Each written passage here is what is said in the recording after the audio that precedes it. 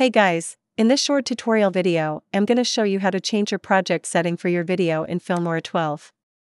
So if you don't have the latest version of Filmora 12 click the first link below to download or click the second link in the description to purchase a Filmora 12 license, if you don't have a subscription yet.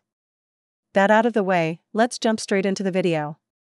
The reason you might want to change your project setting might be that you want to change the frame rate of your video, or project dimension, maybe you wanted to create Instagram content, but later change your mind and want to create a YouTube video. Instead of creating a new project, you can easily change your project settings to fit with the content you want to create and edit in Filmora 12.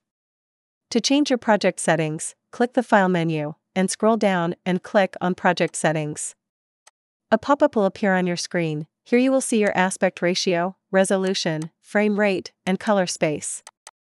This current setting is for Instagram or TikTok. To create YouTube content, you need to change your aspect ratio to 16 by 9. On the resolution, you can decide to make your video in HD, Full HD, and 4K. Next, I'm going to change my video to 30 frames per second and click on OK. Now our project has been changed to the new settings. So that's how you change your project settings in Filmora 12. So guys, if you found this tutorial helpful, please do drop a like and subscribe to the channel for more helpful content. And also check the link in the description to try out Filmora now.